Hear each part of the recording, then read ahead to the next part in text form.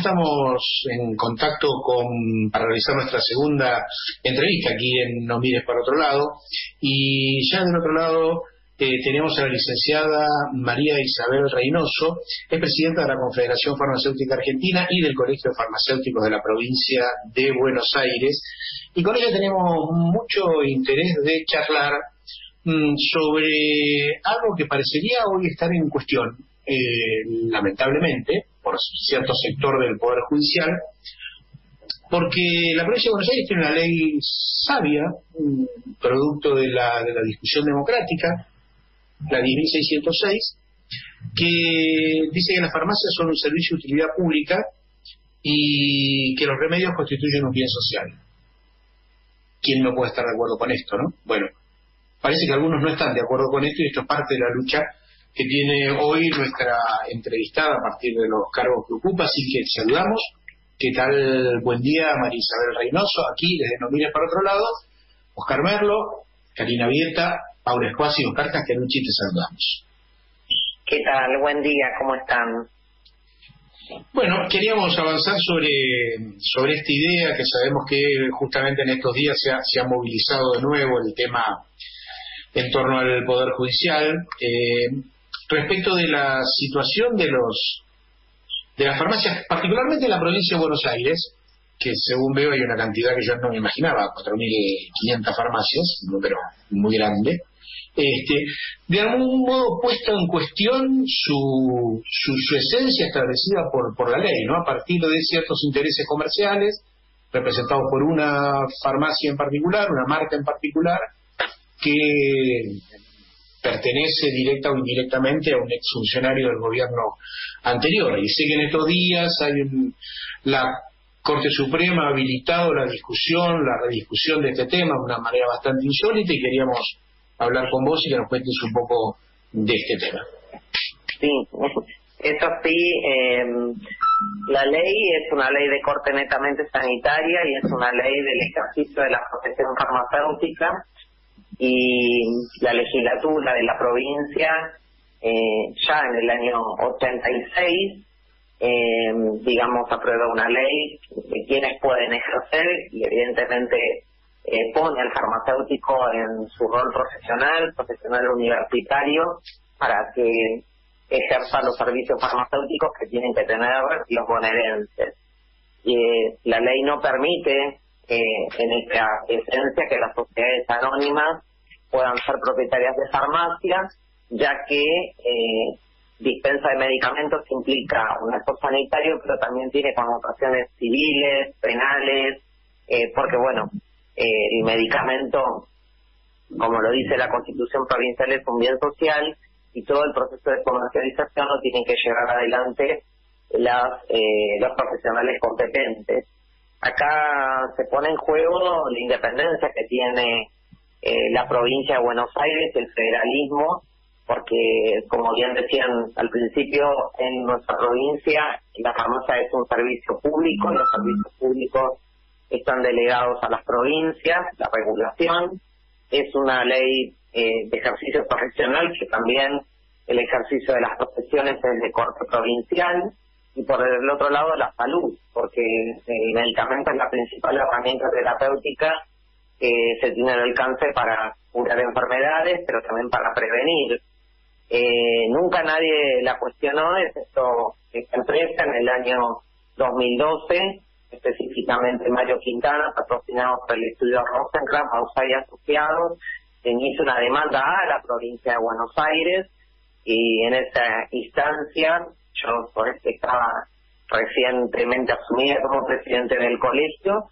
y fuimos convocados por la Fiscalía de Estado de la provincia, que es el que lleva adelante la defensa de, la ley y las competencias propias de la provincia. La misma pasó por todo un derrotero judicial en la provincia, esta primera instancia, Cámara de Apelaciones, Corte Suprema Provincial, eh, aprobándose en forma unánime la constitucionalidad de la, de la ley. Eh, pero bueno, en el año 2016 con el cambio político, eh, quien inicia la demanda es era vicejefe de gabinete de la Nación y quien era el abogado patrocinante es eh, ministro de la Corte, hoy presidente de la Corte, eh, cuando van en queja a la Corte Nacional, eh, la Corte abre la queja en el 2018. Nosotros como colegio hemos recusado a Rosenkrantz eh, por ser parte de la demanda eh, y eh, pedimos una audiencia pública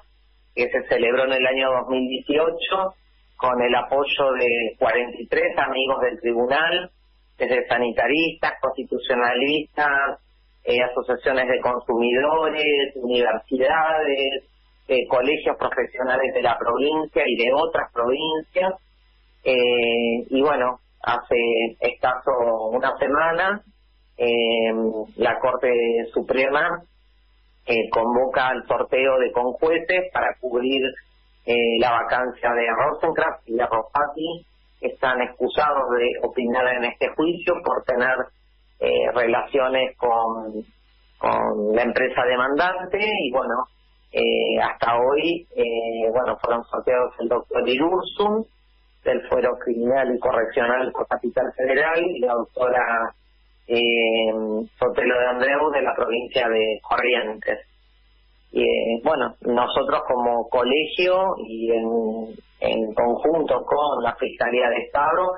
eh, seguimos reafirmando eh, que todas estas competencias son de la provincia de Buenos Aires eh, por los motivos que dije anteriormente y el impacto sanitario que puede eh, traer, eh, digamos, un cambio en la posición eh, tiene consecuencias eh, impensadas, porque hoy las farmacias, como dije anteriormente, no pueden ser sociedades anónimas porque tienen que identificar a las personas que están detrás en la dispensa de medicamentos y una sociedad anónima no las identifica y más esta sociedad anónima cuyo, digamos, acciones están en paraísos fiscales ya está demostrado que las acciones están en labor, que es un paraíso fiscal, y por otra parte tiene una distribución racional de farmacias. La los farmacéuticos eh, escalan donde hay una necesidad sanitaria, sea, donde está la gente, para favorecer el acceso al medicamento, y esta ley ha provocado que en, todos los pueblos, en todos los barrios, en las villas, eh, hay servicios farmacéuticos en pueblos de la provincia muy pero muy pequeños que están a kilómetros de las cabeceras eh, hoy hay servicio. Eh, en cambio eh, la empresa lo que quiere es localizarse donde le es rentable o sea acá viene la discusión de dos modelos eh, totalmente contrapuestos uno un modelo de corte sanitario y el otro un modelo de mercado donde el medicamento pasa a ser una mercancía más y donde ¿Te puedo hacer una pregunta, Isabel? Eh, ¿Es habitual que la Corte abra la queja a una empresa de, de este tipo? No, no, no, no es habitual. En este caso, nosotros entendemos que, que digamos, es un caso especial porque, bueno, este juicio ya está teñido, digamos, de la parte política. Como dije anteriormente, para nosotros en el 2012 Mayor Quintana era un empresario eh, que quería, hizo varios intentos de entrar a la provincia por la ventana. Eh, cuando digo esto, trató de simular una a una unipersonal certificando documentación y no pudo. Después trató de entrar con las figuras societarias que están en la ley eh, y tampoco pudo hacerlo eh, y claramente, eh, digamos, nosotros por lo menos no pensábamos que tenía una cercanía tan importante con el poder político, lo vimos plasmado cuando fue designado vicejefe de gabinete. Eh, tampoco estábamos en conocimiento que, digamos, que Rosenkrantz eh, iba a ser luego designado pues de la Corte. En un momento nosotros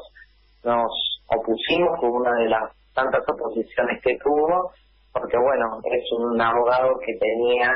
eh, cuando era abogado tenía varias causas, entre ellas esta, pero bueno, abogado del Grupo Clarín y de otras empresas, eh, y bueno, en ese momento los senadores de la provincia de Buenos Aires llevaron, digamos, en la comisión de acuerdo la voz eh, de nuestros colegios y de nuestros farmacéuticos, viendo, digamos, la inconveniencia de que alguien que, que tenía tantas causas eh, a favor de empresas pueda ocupar un lugar en la Corte Suprema de Justicia de la Nación, donde entendemos que la Corte es el máximo tribunal y tiene que, digamos, tener una independencia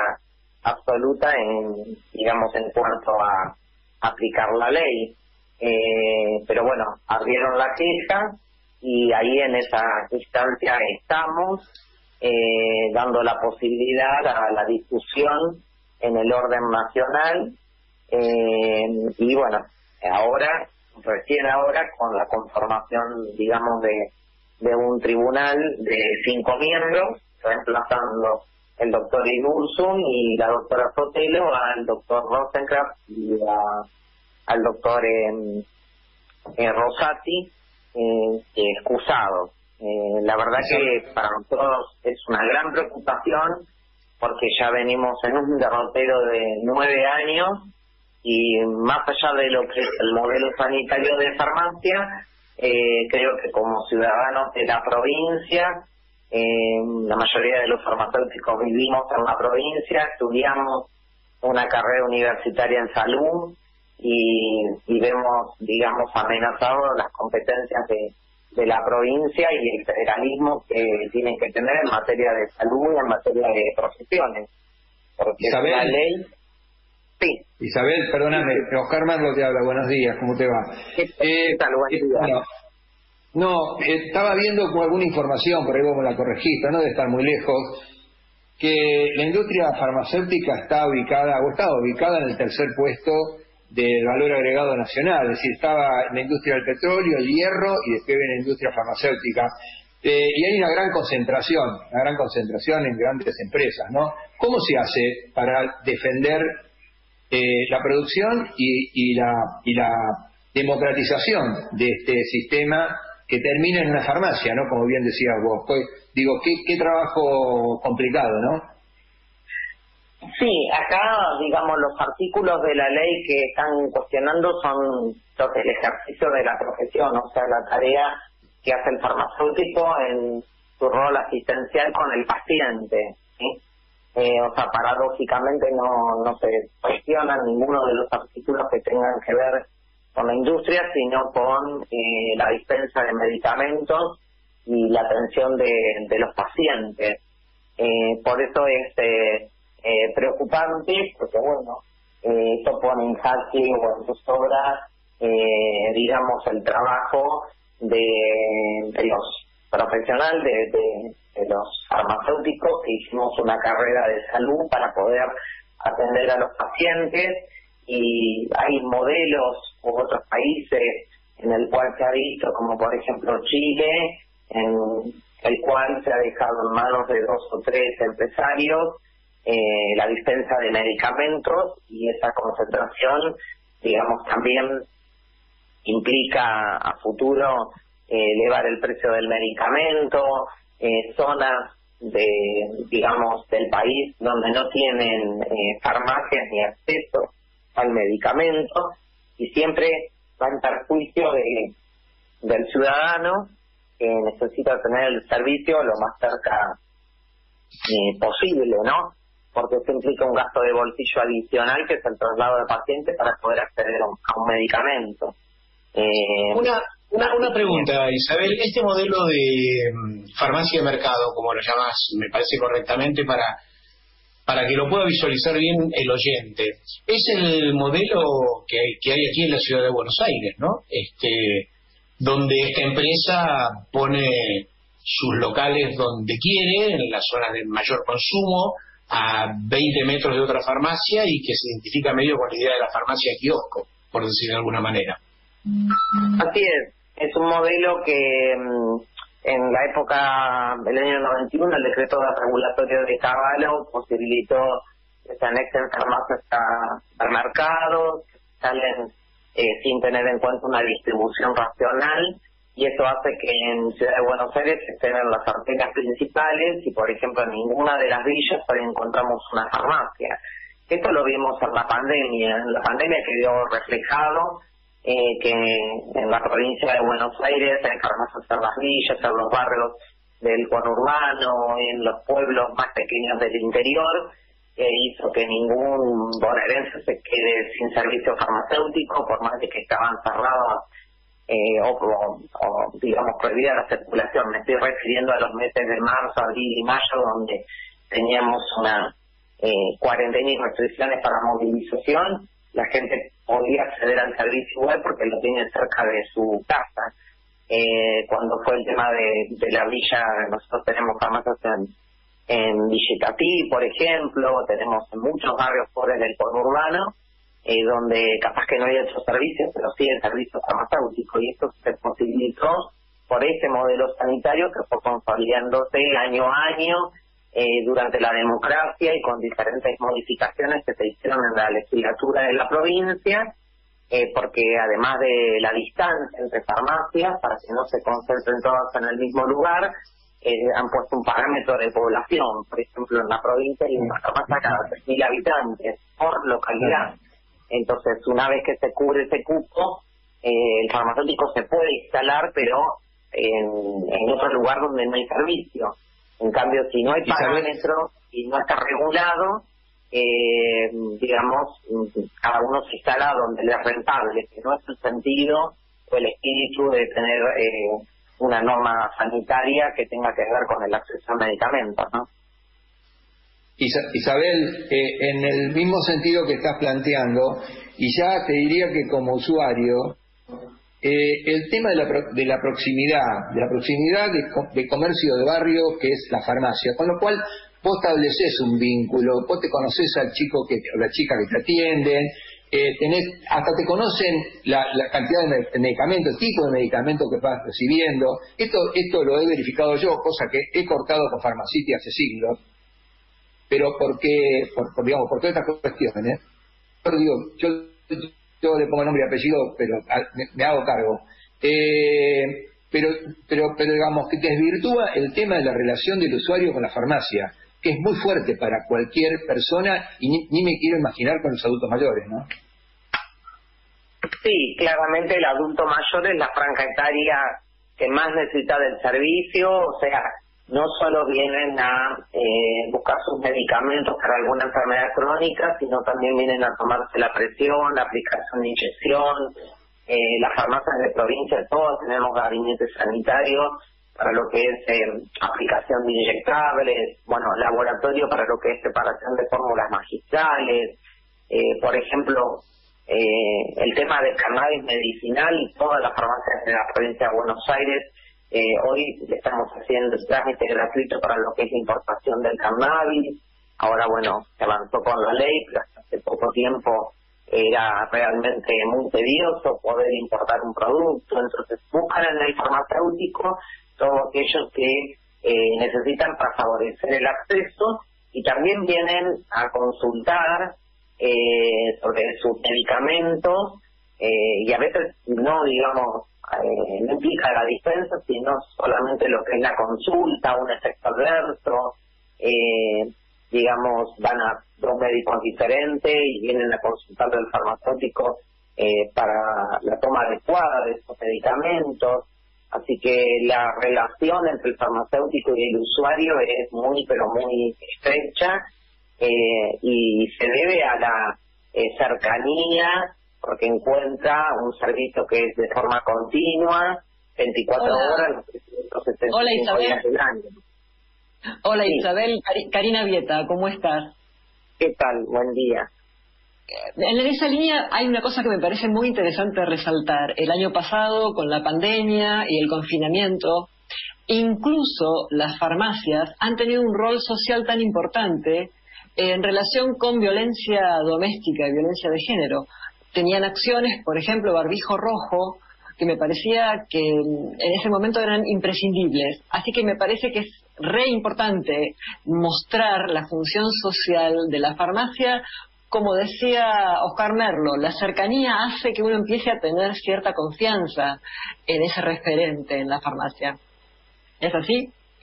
Sí, es así, es así. En el mes de abril eh, todos sabemos que bueno había pocos lugares para poder asistir y la farmacia y el farmacéutico estuvo desde el primer momento, desde la preparación del alcohol en gel, aplicarle el correcto lavado de manos, porque bueno, tuvimos el quiebre de stock del alcohol, le preparamos desde las farmacias em,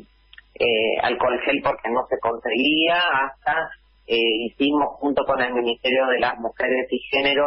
eh, una propuesta eh, que se extendió en todas las farmacias del país, que fue eh, asistir a las eh, mujeres que estaban confinadas y tenían algún tipo de violencia en su hogar, digamos, que tenían a la farmacia y tenían el barbijo rojo y con la sola pregunta yo se desplegaba, digamos,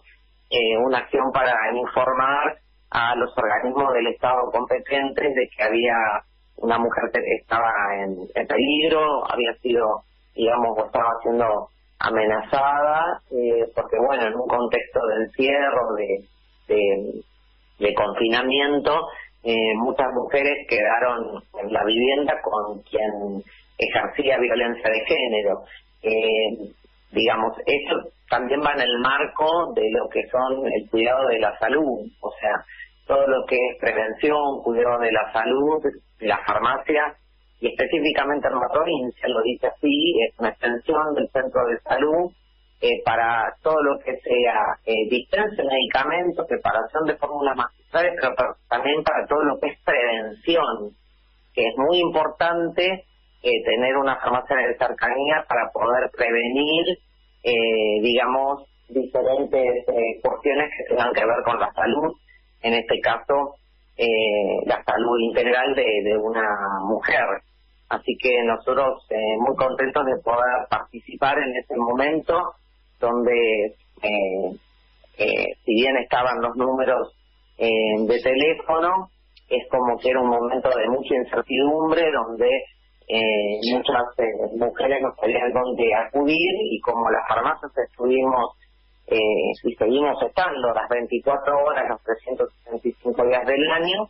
Después profundizamos con capacitaciones para los farmacéuticos en materia de, género y bueno, vamos a seguir seguramente con acciones y creciendo también en esto que hoy en nuestro país está eh, tomando una relevancia importante.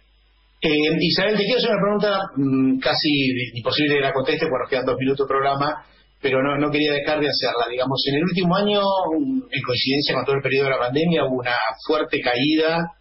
eh, de la compra de, medicamentos de todo tipo, de los mm, prescriptos, de los, no, de los de venta libre. Eh, que esto evidencia una dificultad de la población en acceder a ellos. ¿Quién fija, me gustaría que nos diga así en un minuto, cómo se fijan los precios de los medicamentos en la Argentina? Eh, hoy los precios de los medicamentos en Argentina y de los eh, mm, insumos médicos, productos médicos, para que la gente entienda, eh, barbijos, ondas y otros productos que no son medicamentos, pero que son del arte de curar, los fijan los laboratorios fabricantes. ¿sí? Eh, fijan los precios con acuerdo con el gobierno nacional y hay eh, un precio único en todo el país eh, porque tenemos un sistema de seguridad social, o sea, eh, un paciente que tiene una obra social en Ushuaia, en La Quiaca o en la provincia de Buenos Aires, tiene que acceder a ese producto con el mismo descuento y al mismo precio. Y después tenemos eh, para la obra social de los jubilados un sistema que se dispensa en todas las farmacias del país, que es el precio PAMI, eh, que es eh, un precio 40% más abajo de lo que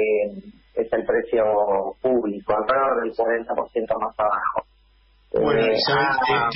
te, agradecemos mucho, pero ya se nos corta, se el aire, el aire del programa. te queremos agradecer mucho el tiempo que nos dedicaste y, y tus explicaciones que permiten entender un poco este fenómeno tan complejo de que hace la parte de la salud, que es el, de los medicamentos y el funcionamiento de las farmacias. Así que te, agradecemos mucho y te comprometemos probablemente para seguir charlando de esto porque nos han quedado decenas de cosas en, en el tintero. No, gracias a ustedes por interesarse en el tema y a disposición, a disposición para lo que necesiten. Buen día.